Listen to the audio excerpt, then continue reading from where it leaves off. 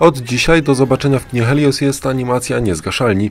To historia o dziewczynce, która od najmłodszych lat chce iść w ślady taty i pracować w straży pożarnej.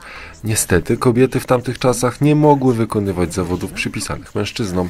Wszystko się zmienia, kiedy tajemniczy sprawca zaczyna podpalać budynki na Broadwayu, a strażacy znikają w niewyjaśnionych okolicznościach. Zdesperowany burmistrz przywraca ojca Georgie do służby, który ma przeprowadzić śledztwo i zatrzymać podpalacza.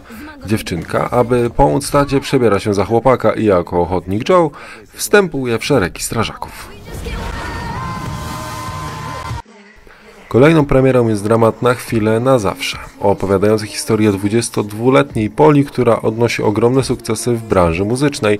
Niestety po jednym ze swoich występów pod wpływem alkoholu doprowadza do wypadku samochodowego.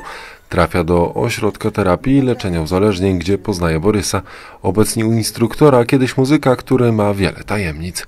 Na drodze do rodzącego się uczucia staje przeszłość Borysa oraz kariera Poli, która wisi na włosku. Czy mają oni szansę na prawdziwą miłość? Trzecią premierą w nadchodzącym tygodniu jest film obyczajowy Powodzenia Leo Grande. Opowiada historię Nancy, emerytowanej nauczycielki i wdowy, która przez całe życie miała tylko jednego partnera seksualnego, swojego męża. Postanawia to zmienić, chce przeżyć przygody z młodym i przystojnym seksworkerem Leo, który okazuje się czarującym uwodzicielem. Do zobaczenia w kinie Helios są także m.in. film akcji Thor Miłość Grom oraz familijny Minionki Wejście Gru. Na wszystkie seanse serdecznie Państwa zapraszamy.